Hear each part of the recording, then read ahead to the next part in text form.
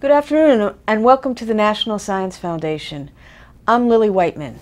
Today we are very fortunate to have with us Dr. Timothy Herbert, who's a professor and chair of the Department of Geological Science, Sciences at Brown University. On June 18, 2010, Dr. Herbert and his colleagues published an important paper in Science entitled Tropical Ocean Temperatures Over the Past 3.5 Million Years. Today we're going to discuss with Dr. Herbert his findings and implications of those findings for climate change. So Dr. Herbert, thank you for being with us. What are the most important findings from your study? Well, we created the first tropical wide record of ocean surface temperature changes over the last three and a half million years. That's the time in which the Earth first went into these great ice ages that continue right up to uh, the very recent past. And what we found that really surprised us is that the tropics seem to shiver when the polar latitudes get cold and they warm up when the ice ages pass. Now, um, we know that the story of the ice ages started about, two and, uh, about 2.7 million years ago. And since then, there have been about 45 separate ice ages. And what we found was that during each of these ice ages, all over the tropical oceans, temperatures cooled during ice ages, and then they warmed up when the ice ages passed. It's incredible to me that water temperatures in the northern latitudes would affect the tropics, which are um, thousands of miles apart. Um, is this the way that it works? Well, we think the best explanation that would connect these changes so far away from each other is for a dominant role for carbon dioxide in the Earth's atmosphere to uh, help to coordinate changes between different parts of the climate system. And that's the best explanation for why we see these patterns in the tropics that are so similar to what we already know is happening at the high latitudes. If CO2 has had this effect in the past, what does this say about ongoing warming and rising CO2 levels now? Well, the fact that we found what, what looks like a really predictable pattern of warming and cooling all over the tropics that's best explained by changes in CO2, that would suggest that that's the future we can look at too, that carbon dioxide changes will have an effect that's felt clear across the tropics and produce rising temperatures. Dr. Herbert, just why are changes in tropical temperatures important? Why should we care? Why do we need to understand what's going on in tropical waters? Tropics are really, really important to global climate. Um, one thing that's really important to know is that essentially all of the water vapor in the atmosphere, what comes as rain over the ocean or on land, it starts off as water in the warm tropical ocean that evaporates. So the reason it's there is we have a warm tropical ocean. And the evaporation of water into the atmosphere, which fuels rainfall, depends directly on the surface ocean temperature. So if the temperature in the ocean in the tropics changes, the amount of water going into the atmosphere changes very directly. Um, there's a second big reason besides how it would affect rainfall and climate and rainfall, and that's the water vapor feedback on global temperatures.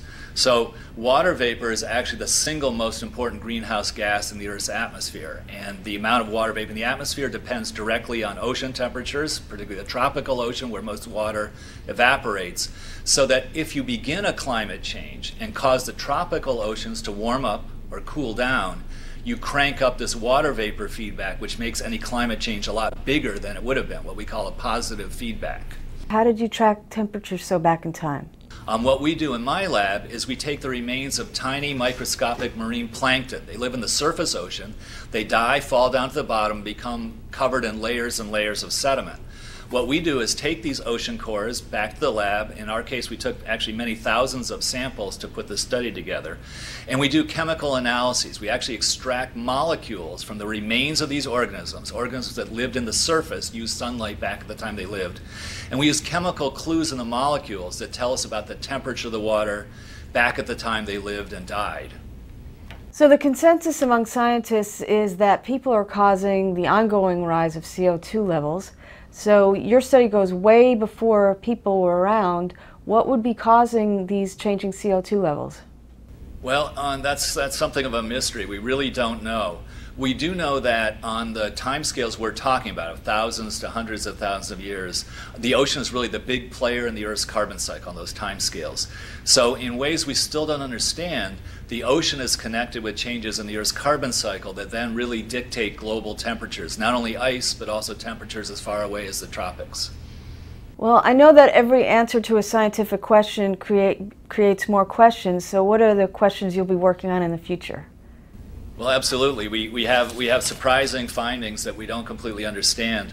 Um, the things that really fascinate me would be trying to understand why this CO2 feedback and the strength of climate changes increases from toward today, as if the system it's like a, those uh, movies of the bridge that starts shaking and then shakes more and more wildly as time goes on. And that's what we see in the Earth's climate, that as we come toward today, the strength of the ice age cycles and the CO2 effects become bigger and bigger. And we don't understand why that's changed over time. Is there anything else about your important study that you would like the public to know about? The message seems to be that global climate's incredibly interrelated, that when you change things one place, you produce large changes in another place that you might not have expected. And these changes uh, seem to add up to make the overall changes stronger, bigger than you might have thought when you started. I think the sort of sobering thing is to try to realize that we don't understand all these feedbacks and linkages. We don't fully understand how, if through human activity we affect part of the globe, how those are going to cascade or show up in other parts of the system. I'd say from our study, we can say that the areas that don't directly feel climate change will sooner or later almost certainly feel a very strong change. I think that's what this tropical data is shouting out to us in how similarly it's marching or it's dancing to the beat that's ultimately happening at very high latitudes with the ice ages. Thank you so much, Dr. Herbert. Thank you, Lily.